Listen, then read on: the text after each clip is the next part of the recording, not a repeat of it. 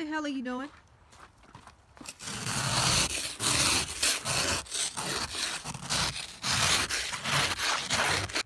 Anything can melt the ice.